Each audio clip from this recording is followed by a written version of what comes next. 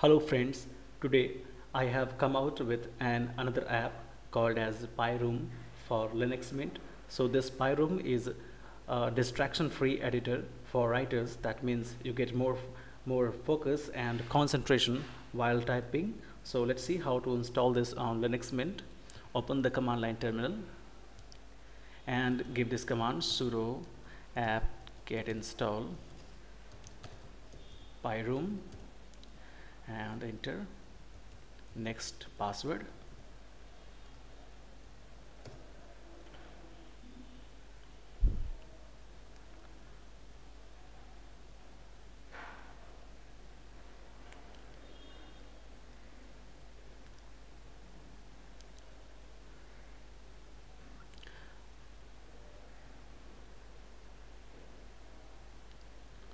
So pyroom is now installed. I'm going to close this terminal and let's search here uh, menu uh, pyroom.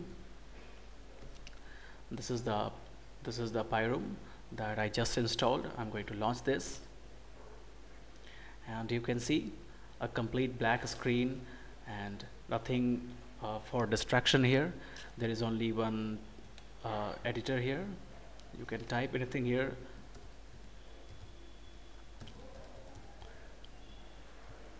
so so on this editor you can concentrate only on just typing. So to just check other options here press ctrl H for help. And you can get all the commands here. This uh, control H for to show help in a new buffer. Anyway to save any file here you have to just simply press ctrl S as usual. And to exit you have to press control Q. Here is control Q to quit. So next I'm going to save this. Hello world. Mm. save. Okay I have to select the folder actually. Mm. documents. Okay save here. Now it is saved next next I'm going to quit this. So to quit I have to press control Q.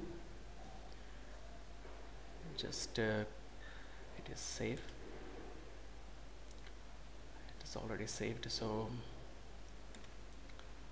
anyway that's all for now friend. I hope this video was helpful for you. Thank you for watching